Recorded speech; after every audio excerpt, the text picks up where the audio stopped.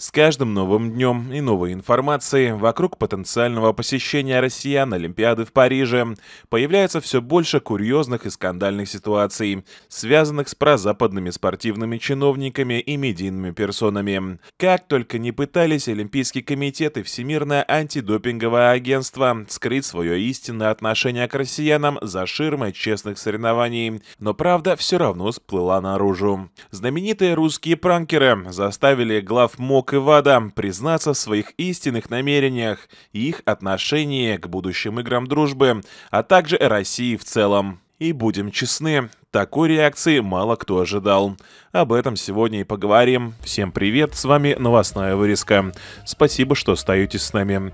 А прежде чем мы начнем, настоятельно просим вас поставить лайк этому видео и подписаться на наш канал. Тем самым вы оказываете нам большую поддержку и помогаете распространять материал. А теперь усаживайтесь поудобнее, мы начинаем.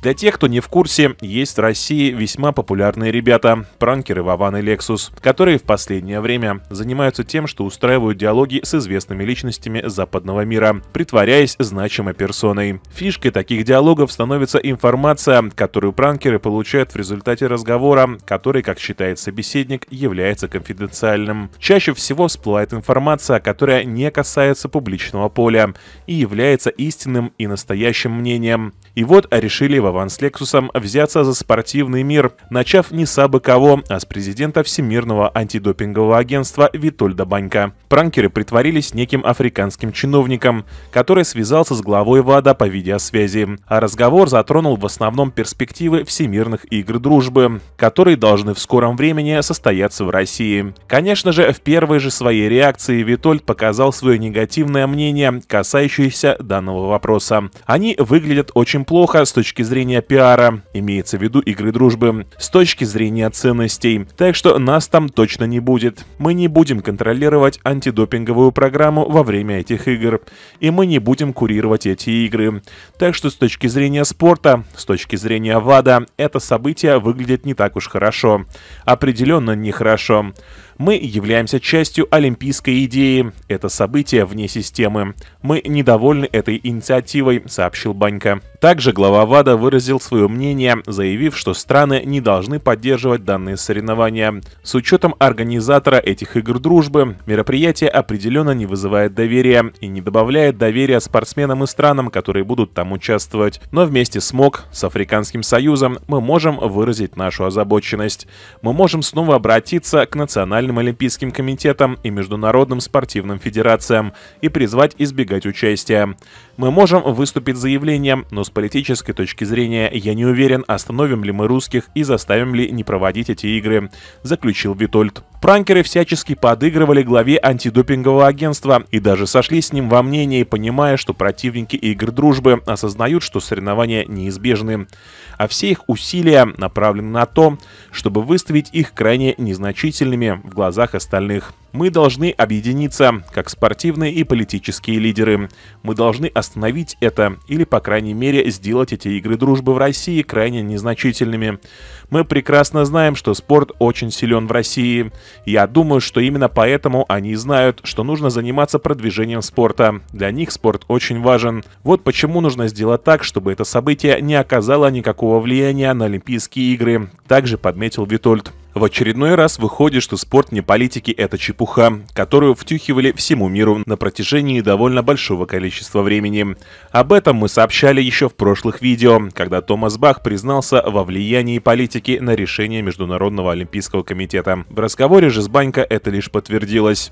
Более того, Витольд призвал к тому, чтобы Африка, представителями которой притворились пранкеры, возглавила оппозицию российскому турниру, а также призвала обсудить этот вопрос с коллегами на континенте. Также интересным моментом стало и то, что Витольд упомянул, что на предстоящих Олимпийских играх смогут принять участие лишь те спортсмены, что осудят СВО. А как мы помним, Олимпийский комитет ранее сообщил, что от подобных условий все же решили отказаться. Похоже, вопрос все же остается открытым. Следующим же на очереди у пранкеров был никто иной, как самая популярная персона в мире международного спорта, глава Международного Олимпийского комитета Томас Бах, который в целом держался той же риторики, что и Витольд. Так, в диалоге с ним из нового и неожиданного были лишь угрозы серьезными связями. Мол, Бах уже обсудил историю с бойкотом игр дружбы со своими европейскими коллегами и даже готов заручиться поддержкой президента Франции Эммануэля Макрона. Я позабочусь о том, чтобы президент Макрон поддержал этот шаг Европейского Союза.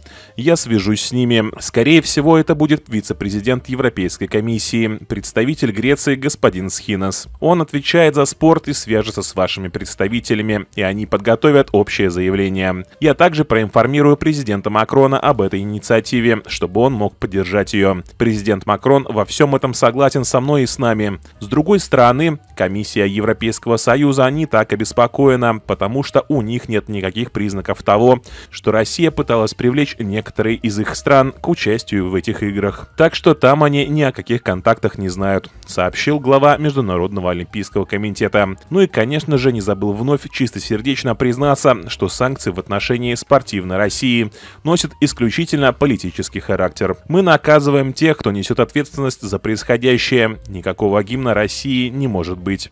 Нельзя поднимать флаг. Олимпийский комитет России после того, как мы отстранили их, сделал несколько довольно агрессивных заявлений, что это дискриминация, сообщил он. Вот такой вот он Бах, правдоруб и справедливый человек. Кстати, о справедливости. Вслед за российскими гимнастами и лучниками отказались от участия в Олимпиаде в Париже и боксеры, а теперь и гребцы.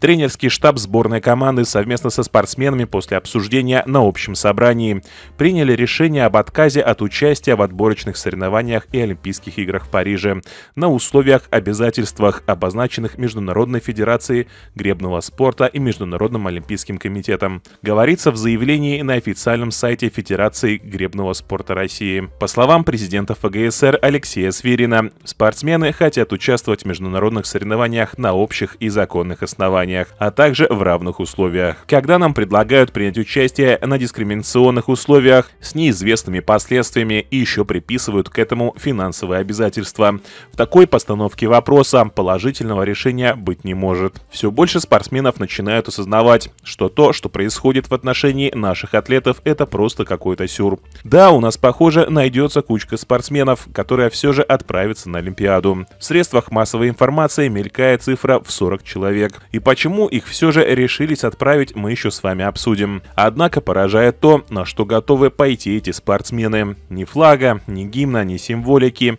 ни национальной одежды, никаких упоминаний, никаких церемоний открытия или закрытия, вообще ничего. Никакой поддержки, так и хочется спросить, в каком мире они существуют. Вы вообще новости читаете?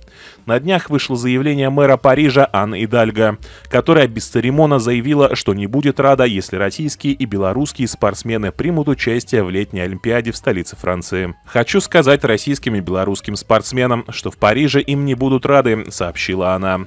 А, к примеру, журналисты канадской газеты The Globe and Mail и вовсе призвали участников Олимпиады 24, а также болельщиков, которые приедут в Париж, игнорировать российских спортсменов. По мнению авторов, не стоит проявлять неуважение к россиянам, их нужно попросту не замечать. Россия с удовольствием использует своих спортсменов в качестве инструмента пропаганды. Почему к ним следует относиться иначе, чем к российским пропагандистским целям? Поэтому никаких приветствий, никаких подбадриваний на церемонии открытия или во время соревнований, никаких рукопожатий, никаких аплодисментов. Не нужно вести себя невоспитанно.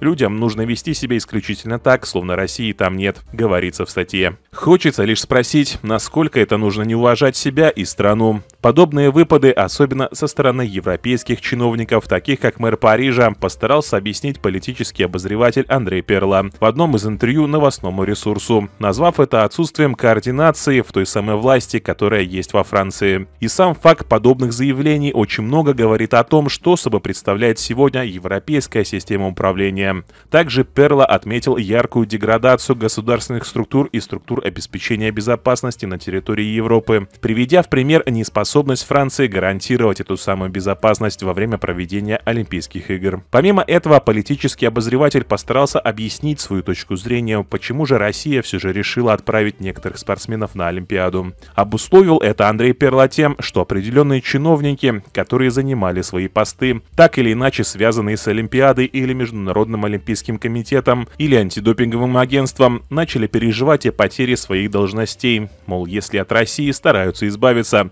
значит и должностей таких не будет. Отчего подобные чиновники и начали активно искать любых спортсменов, готовых поехать на данные соревнования. Также Андрей Перло осудил возможный показ олимпиадных соревнований по Первому каналу, отмечая, что это будет проявлением неуважения к народу. Ну а от себя мы хотим добавить, что нам не стоит забывать о том, что в России, кто бы что ни наговаривал, одни из самых сильных атлетов в мире. В нашей стране есть ведущие сборные, которые диктовали свои условия соперничества, которые являлись неотъемлемой частью в своем направлении.